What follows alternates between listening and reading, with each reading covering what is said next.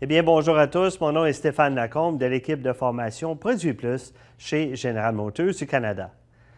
La Malibu de Chevrolet en a fait du chemin depuis ses modestes débuts dans les années 60. La 2013, qui est la huitième génération, se vend sur six continents dans plus de 100 pays.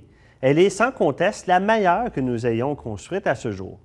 Au cours des quelques 20 prochaines minutes, je vais faire le tour du véhicule pour vous montrer tout ce que nous avons fait pour éclipser la concurrence dans ce segment.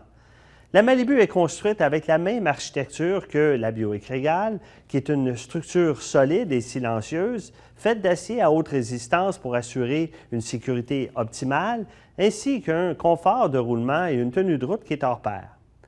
Ces nouvelles caractéristiques établissent la référence pour une famille de véhicules GM vendus aujourd'hui partout dans le monde. Cette berline intermédiaire est proposée avec trois niveaux d'équipement différents, de même qu'en version Eco pour les LS et LT.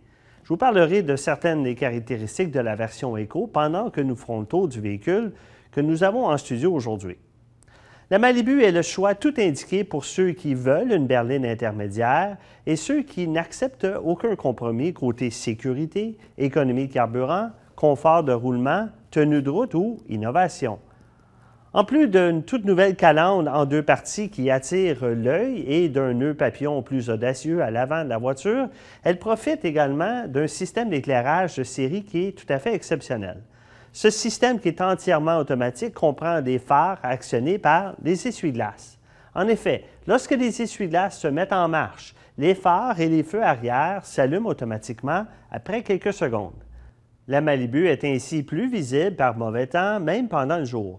Quand on arrête les essuie-glaces, les feux et les phares restent allumés s'il fait assez noir, sinon ils vont s'éteindre automatiquement, et ce sans intervention du conducteur.